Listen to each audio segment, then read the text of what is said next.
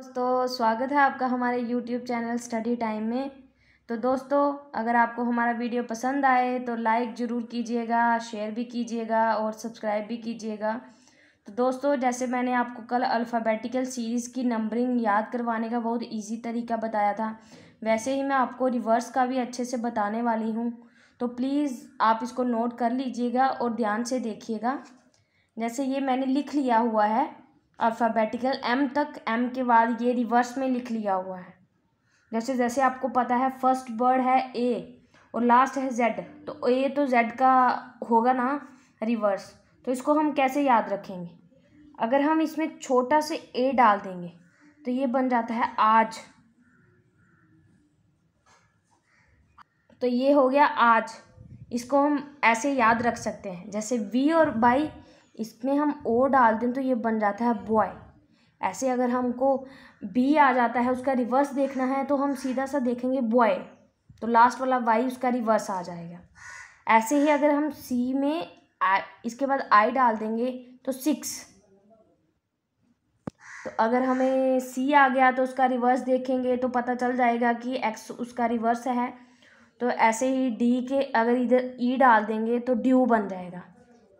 अगर आपको डी आता है तो उसका रिवर्स पूछा हुआ है तो डब्ल्यू आपको पता चल जाएगा कि उसका रिवर्स है। तो ईवी को हम याद रख सकते हैं। ईवीएम मशीन ये तो नाम आप सभी ने सुना ही होगा।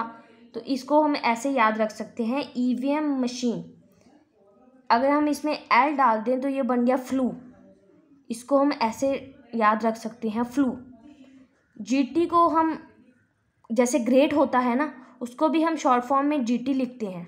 और जीटी रोड भी होता है। तो आप इसमें से कोई भी एक चीज़ याद कर लेंगे तो आपको याद रहेगा कि इसका रिवर्स क्या होगा। एच एस का क्या होता है?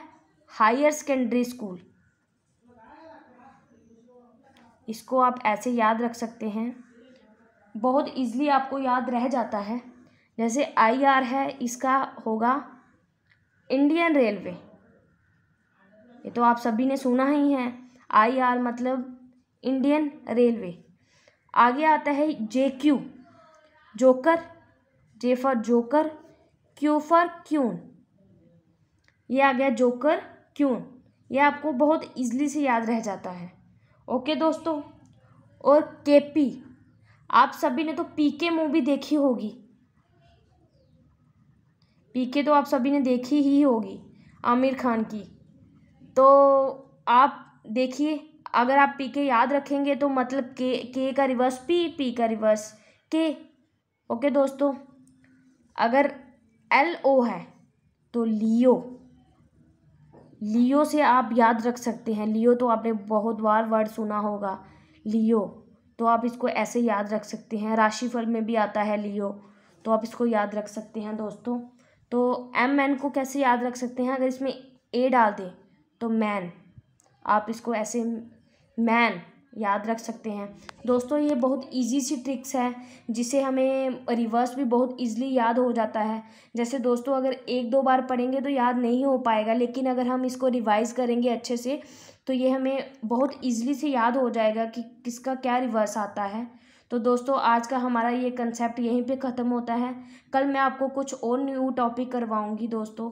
तो अगर आपको मेरा वीडियो पसंद आएगा तो प्लीज़ लाइक ज़रूर कीजिएगा और आप कमेंट में बताइए कि मैं आपको कौन सा टॉपिक करवाऊँ।